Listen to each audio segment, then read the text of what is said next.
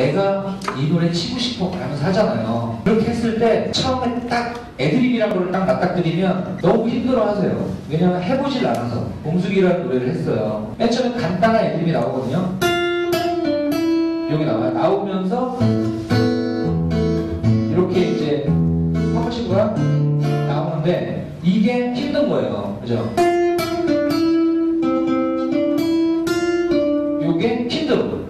근데 이거를 평소에 조금씩 조금씩 아 이게 이거구나라고 연습을 해두면 맞닥뜨리거나 했을 때 쉽겠죠. 조금씩 조금씩 하나씩 천천히 하고 있거든요. 몇 가지가 있습니다. 오늘 하나만 할 건데 전체적으로 오늘 보여드려야 되니까 sliding down, 그 다음에 sliding up이 있고요. sliding up, 그 다음에 bending 혹은 choking이라고도 하고요. 그 다음에 harmonics가 있고 pulling on 네, 이거 그냥 들으시면 돼요. pulling on 혹은 hammering on이라고도 하고요. pulling off가 있고요. 뭐, 이 정도만 하시면 되겠네요. 자, sliding down이나 sliding up은 뭐냐면, 우리 하다 보면, 이렇게 내리는 소리 있죠?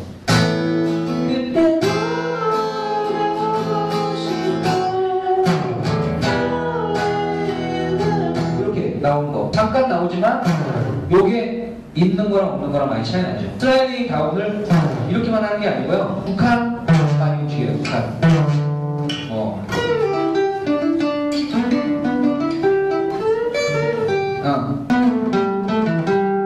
맨 끝에 나오는 거. 거기서 슬라이딩 나오는 거. 북한. 그죠? 요거를 할 수 있어야 되니까. sliding down, sliding up은 반대로 올라가는 거죠. 이렇게 올라가는 거. 요것도 많이 쓰세요.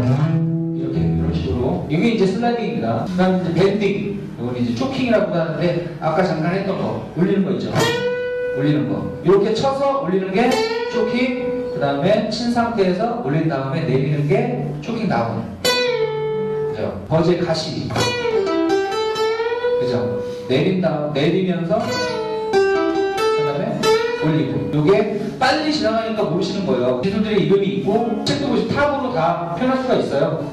5플랫, 여기, 어, 10플랫에서 이번 주 10플랫에서 초킹해라. 10플랫까지. 그러면 10플랫에서 12플랫까지 간 것처럼 소리를 올리는 거죠.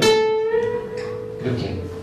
초킹, 다운, 초킹 업이라고, 에, 밴딩이라고 하고요. 하모니스. 하모니스는 요 소리. 요 소리 나죠? 요 소리. 요게 대표적으로 서시죠, 서시.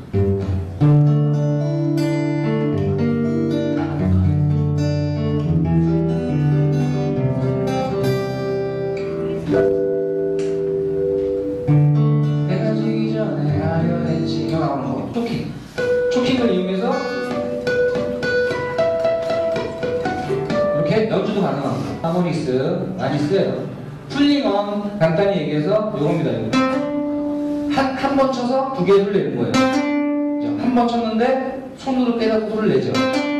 요두 번째, 이, 요 반대되는 게 풀링어프인데, 풀링어프는 친 상태에서 쳐서 손을 떼서 소리를 내는 거예요.